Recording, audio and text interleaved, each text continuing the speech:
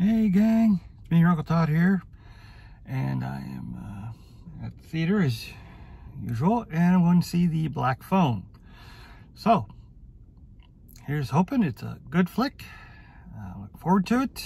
Ethan Hawke is usually good when he plays a villain. So, see you after the movie. Wow, that was quite the um, thriller. Ethan Hawke was scary. Not sure if he was supposed to have multiple personalities or not, but man, what a performance. At times scary, at times silly, sarcastic, and pathetic in some moments. Uh, oh, great score. Really gets under your skin in some scenes.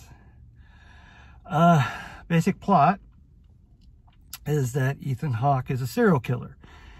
He kidnaps young boys, uh, just hitting teen to uh, mid-teens, plays uh, sadistic games with them before he kills them. And the latest uh, abduction, Finn is getting these phone calls on a phone that doesn't work it's the previous victims and they're all giving him advice on things they tried to do to escape and he tries to do them to escape too.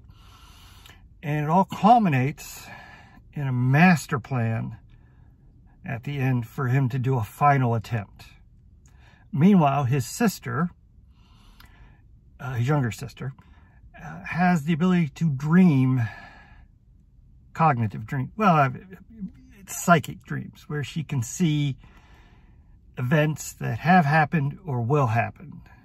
And she's trying to use this ability to find her brother. And her father doesn't want her to. He, he's rather abusive uh, because their mother had had the same ability and she killed herself. And so he is basically trying to beat it out of her to not do that.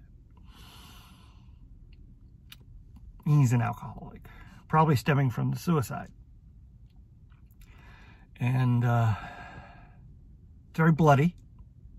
You, when you see Finn talking to the, the past victims, they are, you see them in their dead form talking to him. He doesn't see them, he only hears them.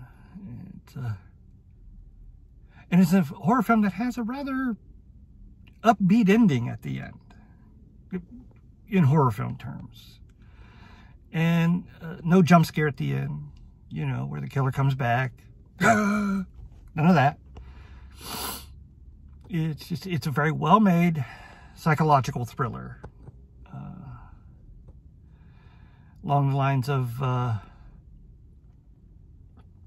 you know, like uh, Die Die My Darling, where someone is kept prisoner and eventually they will be killed. And you know that. Uh, it's set in the 70s, and there's some great throwbacks. Uh, one part where the Finn and his friend are talking about the Texas Chainsaw Massacre, which the friend has seen, but Finn has not because mm, his dad's not going to take him to see that. And uh, there's a great moment where uh, Finn is staying up late on a Friday watching what is basically chiller theater, uh, where they're showing The Tingler, and it is the scene uh, where the mute woman is uh, being scared to death by her husband. And you see Finn almost yell out but he stops himself because he doesn't want to wake up his dad and get beaten. And uh, I like that. As a great throwback to uh, when I was a kid watching uh, late night horror movies on Friday nights. And the uh, the score is of course peppered throughout with great 70s classics. So that uh, that that fit the uh, scenes like Sweet's Foxes on the Run. And uh, there's a Pink Floyd song, I think. I cannot remember the name. I think it says Days Go By. It's an instrumental. Or, no. It's from Dark of the Moon. That's right. Dark. It's from Dark of the Moon. I can't remember the title, though but it's an instrumental. And uh, all in all, highly recommend it. It's a really good thriller. And um, uh, it probably is a little scarier because it always is when kids are uh, in danger. And uh, if there was any pedophilia implications in it, they were very much below the surface because um, you never get to see anything like that.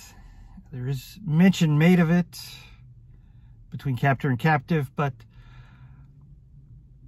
uh, nothing ever comes of it.